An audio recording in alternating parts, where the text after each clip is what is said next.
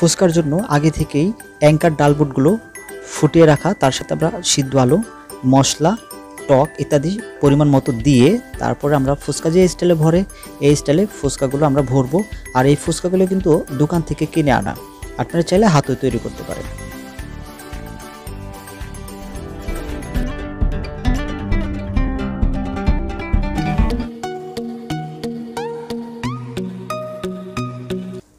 এই ভিডিওতে আপনাদেরকে দেখাবো কীভাবে দোকানের মতো করে বাসায় ঠিক দোকানের স্বাদে বা তার থেকেও বেশি স্বাদ হয়, সেভাবে আপনারা ফুচকা তৈরি করতে পারবেন। ফুচকা তৈরি করতে গেলে আপনার দোকান থেকে কিনতে হবে অ্যাঙ্কার বুট, যেটা ফুচকা তৈরির বুট বললেই বা চটপটের বুট বলে ওরা দেখাই দিবে। খুব কম দাম, আপনারা আধা কেজি বুট নিতে পারেন, সেই বুটটাকে সারা রাত ভিজে রাখতে হবে বা অন্তত বারো ঘণ্টা ভিজে রাখবেন।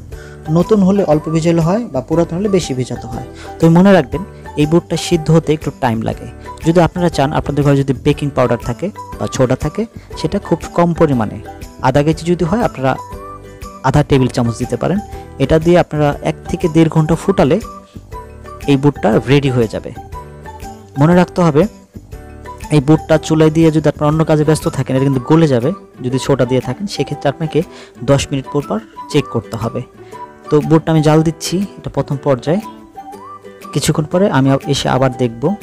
আমি চুলাটা খুব লো আছে জাল দিব। তারপরে এটা এরকম হবে। তো বন্ধুরা, যারা আমার চ্যানেলে নতুন আছেন, অবশ্যই আপনারা এই চ্যানেলটি সাবস্ক্রাইব করবেন এবং আমার নতুন নতুন ভিডিও পাওয়ার জন্য অবশ্যই নোটিফিকেশন বেলটি দিয়ে রাখবেন। সবাইকে ধন্যবাদ। সিদ্ধ হয়ে যাওয়ার পরে আমরা স্পেশাল মশলা বানাবো। আমি কিন্তু গুয়া মুড়ি দিয়ে, যেটাকে মৌরি বলে, সেই মৌরি আমি পাটাই বেটে মশলা তৈরি করছি। ধনে পাটাই বেটেছি, এটার মশলা এই যে, আর হচ্ছে পাঁচ ফোড়নের মশলা। তো এই মশলাটা কিন্তু দোকানে থেকে বরং ভালোই স্বাদ হয়েছে এবং ঘরেও তৈরি। মশলা কিন্তু বিভিন্ন ব্র্যান্ডের, রাঁধুনি বা বিভিন্ন ব্র্যান্ডের কিনতে পাওয়া যায়। তো আমি কিন্তু সেই ব্র্যান্ড ইউজ করছি না, আমি ঘরে বানাচ্ছি। মৌরি গুঁড়ো, ধনিয়া পাতা গুঁড়ো সরি ধনিয়া গুঁড়ো আর হচ্ছে আপনার পাঁচ ফোড়ন গুঁড়ো। এই তিনটা মশলা হলে যথেষ্ট। যতটা গুঁড়ো করা সম্ভব হয়, এটা কিন্তু ব্ল্যান্ডারে হবে কিনা আমি জানি না, আমি পাটাই করেছি শিল পাটাতে তো এরপরে আপনাদের স্বাদ বাড়ানোর জন্য আর একটা জিনিস খুব লাগবে, সেটা হচ্ছে পেঁয়াজ কুচি, মরিচ কুচি, আর হচ্ছে ধনিয়া পাতা। মনে রাখবেন, ধনিয়া পাতাটা একটু বেশি দিবেন, তাহলে স্বাদটা একটু বেশি হবে।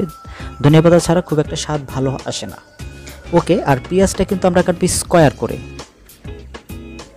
তাহলে স্বাদটা ভালো পাবেন। আমার চ্যানেলে কিন্তু ফুড আইটেম এবং বিভিন্ন রিভিউ বিভিন্ন কিছু আছে, আপনারা একটু পিছনে দিয়ে আমার ভিডিওগুলো দেখতে পারেন। আশা করি আপনাদের অনেক ভালো লাগবে।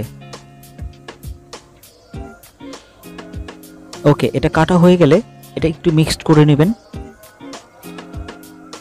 আবার কেউ কেউ আছে যে ফুচকাতে বোম্বাই মরিচ খেতে পছন্দ করে, আপনারা সাথে এটা অ্যাড করবেন।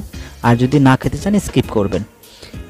এরপরে এই যে আমরা আলু দিচ্ছি, এই আলুটার একটা সহস্য হচ্ছে আলুটা কিন্তু বেশি সিদ্ধ হতে হবে। অল্প সিদ্ধ হলে কিন্তু এটা মাখা মাখা ভাবটা আসবে না। এই ভাবটা আনতে হলে আপনি একটু বেশি সিদ্ধ করবেন। আমি দুঃখিত, আমার এই আলুটা কিন্তু খুব একটা বেশি সিদ্ধ হয় নাই। আমার একটু তাড়াহড়ার কারণে এমনটা হয়েছে। আলুটা এমন হবে, আলুটা চাপ দিলে অনেকটা ভর্তার মতো হয়ে যাবে। এই স্টাইল পর্যন্ত করবেন। ওকে, আমাদের সব উপকরণ রেডি হয়ে গেলে আমার ফুচকা দেখেন, ঠিক এরকম হতে হবে। একটু ঘন ফুচকার জন্য চটপটো এটা হবে এবং ফুচকাও হবে। আমি এই ফুচকাটা কিন্তু দোকান থেকে কিনে এনেছি। এরকম প্যাক কিনতে পাবেন আপনারা। আপনারা চাইলে এরপরের ভিডিও আমি দেখাবো কীভাবে ফুচকা বানাতে হয়, ভাজতে হয়। তাল মাখানা, সুজি আর ময়দা দিয়ে আমি এটা আরেকদিন প্রয়োজনে ভিডিও বানাবো। আজকে আমারটা কিনেই দেখাচ্ছি। তো আমি ফুচকো, সেই বুটের ডাল নিব, আলু নিব, এর মধ্যে পেঁয়াজ পরিচ পরিমাণ মতো মিশাবো এবং দিব কিছু মশলা, টক। ফুচকার সাথে কিন্তু টকটা খুব ইম্পর্টেন্ট টকটা দোকানে কিন্তু ওরা অনেক কেমিক্যাল দিয়ে তৈরি করে। আমরা কিন্তু একেবারে খাঁটি তেঁতুল দিয়ে ঘরে হাতে বানিয়েছি। আপনারা চেষ্টা করবেন সব খাবার ঘরে খাওয়ার জন্য। তাহলে আপনাদের স্বাস্থ্যের কথা চিন্তা করে এটা করা দরকার। স্বাস্থ্য ভালো থাকবে। ওকে, আমি সব ধরনের মশলা নিব। আর মনে রাখবেন, যেহেতু আপনারা বাসায় বানাচ্ছেন, দোকানের মতো হুবহুব না হলেও আপনারা বারবার ট্রাই করবেন, মুখে নেবেন, শুকবেন যে ঘ্রাণ এবং স্বাদ, এই দুইটা জিনিস খেয়াল রাখবেন। মশলার যে রেশিওটা বা রেশিওর সাথে লবণের রেশিওটা এবং ঘ্রাণের ব্যাপার স্যাপার সবগুলো আপনারা বারবার অনুধাবন করার চেষ্টা করবেন যে দোকানের মতো হচ্ছে কি না তো সেই পরিমাণ আপনারা সব কিছু জিনিস দিবেন, দিয়ে এটাকে খুব ভালো করে সাজাবেন, টক পরিমাণ মতো দিবেন। তারপর একটু ডিম কেটে দিলে দেখবেন এটা একবারে দোকানের মতো হয়ে গেছে এবং খেতে খুব সুস্বাদু লাগবে।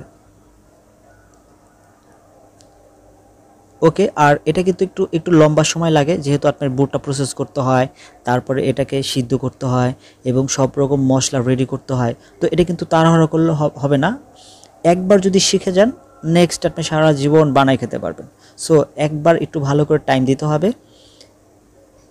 এই যে আমাদের হয়ে গেল রেডি এখন শুধু একটু টক দিব, তারপরে খেয়ে নেব। টকটা আমি তেঁতুল দিয়ে বানিয়েছি। আমারটা কিন্তু পুরাতন তেঁতুল এই জন্য কিন্তু এটা ফুচকার মধ্যে দিলে কালারটা একটু কেমন জন্য ই কালার হয়ে গেল, ঘোলা কালার হয়ে গেছে আমার ফুচকা, এরপর নেবেন আর খাবেন। অনেক অনেক মজা হয়েছে। আপনাদেরকেও ধন্যবাদ যারা এই ভিডিওটা পুরোপুরি দেখেছেন এবং আমার আমার সম্পূর্ণ ভিডিও দেখার জন্য আপনাদের ধন্যবাদ জানাচ্ছি। নেক্সট ভিডিওতে দেখা হবে। সবাই ভালো থাকবেন।